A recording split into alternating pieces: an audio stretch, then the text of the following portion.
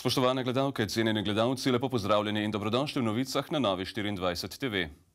Poslanci bodo čez eno uro začeli decembrsko sejo in prvi dan med drugim odločali o predlogu zakona o obnovi, razvoju in zagotavljanju finančnih sredstev po avgustovski ujmi.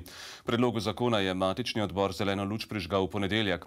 V opoziciji so kritični predvsem do novih obremenitev, ki jih bo zakon od leta 2024 do leta 2028 s ciljem financiranja obnove prinesel gospodarstvu. Na dnevnem redu bo tudi tretja obravnava in odločanje o predlogu zakona o statusnem preoblikovanju vzajemne. Slednja naj bi se prihodnje leto po ukinitvi dopolnilnega zdravstvenega zavarovanja preoblikovala v delniško družbo, zavarovanci pri njej pa naj bi bili zašči zakonsko zaščiteni.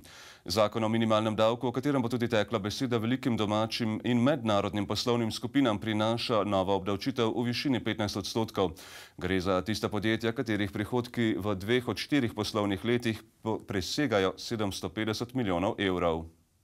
Skupina HSE, ki jo vlada uvršča med strateške naložbe, proizvede več kot 60 odstotkov električne energije in je kot takšna ključna za zagotavljanje zanesljive oskrbe z električno energijo v državi, je septembra letos ustanovi Radija 1 fundaciji preprosto blizu namenila donacijo v vrednosti 100 tisoč evrov.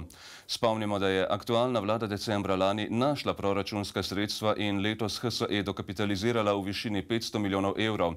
Prav tako je bila zahvaljujoč kolektivni pogodbi za poslovno leto 2022 za zaposlenim izplačana nagrada v višini 980 evrov, čeprav je skupina imela 47 milijonov dobička in hkrati skoraj 400 milijonov bilančne izgube. Prav tako je zanimivo, da javno dostopni podatki aplikacije RR kažejo, da so donacijo v vrednosti po 100 tisoč evrov fundaciji preprosto blizu namenili tudi v Geniju in družbi za avtoceste v Republiki Sloveniji, kjer imata velik vpliv vladajoče gibanje Svoboda in Nova Slovenija. Svet Agencije za energijo je sredi prejšnjega meseca po pobudi Ministrstva za okolje, podnebje in energijo in dobaviteljev električne energije začetek uporabe nove metodologije obračunavanja omrežnine za elektrooperaterje predstavil z 1. marca na 1. juli 2024. Razlog so dodatne aktivnosti dobaviteljev, ki so povezane z regulacijo cen elektrike. Nov sistem pa naj bi odjemalce spodbudil k racionalnejši rabi omrežja oziroma prilagajanju svojega odjema. Pri tem bode v oči dejstvo, da bodo po novem načinu obračunavanja omrežnine največjo korist imeli prav državni monopolisti, javnost pa je kritična, saj naj bi bil sistem nepravičen do manjših uporabnikov električne energije.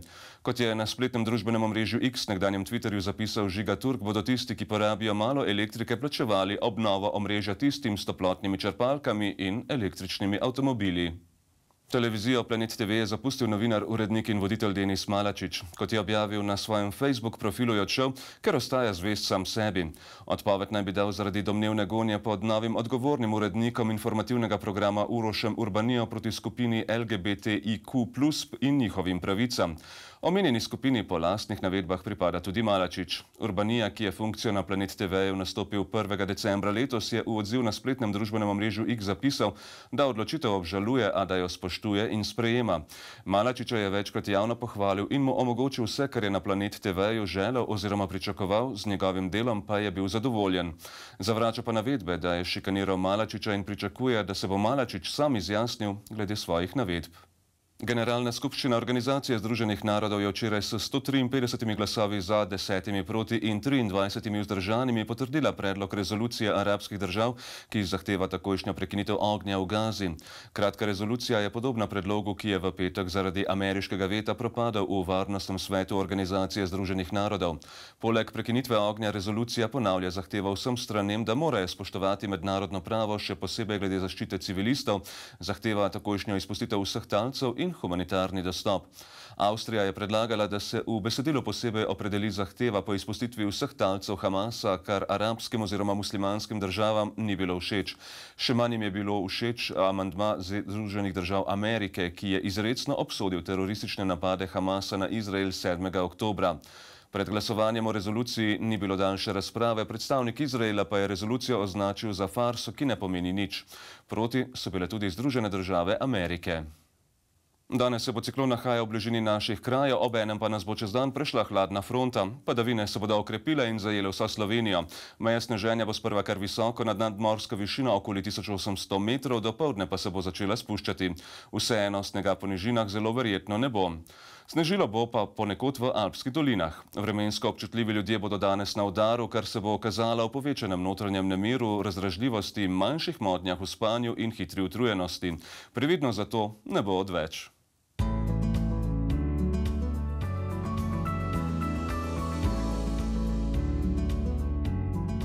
Danes bo deževalo, najviše dnevne temperature bodo od 3 do 8, na primorskem in ponekod v južni Sloveniji od 10 do 12 stopinj Celzija. Po noči bodo padavine slabele in do jutra od zahoda v večjem delu Slovenije ponehale. Le ponekod v vzhodnih krajih bo zjutraj lahko še kakšna kaplja. Najnižje jutranje temperature bodo od nič do 4, v nekaterih alpskih dolinah malo pod ničlo, ob morju okoli 6 stopinj Celzija. Jutri se bo delno razjasnilo, več sonca bo v zahodnih, bolj oblačno pa v vzhodnih krajih. Najvišje dnevne temperature bodo od 4 do 11, na primorskem pa do 14 stopinj Celzija.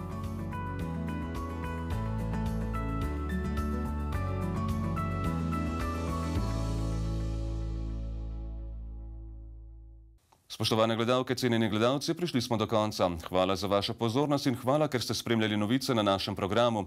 Pridružite se nam ob 14. uri, do takrat pa vam želim še lep dan. Nasvidenje.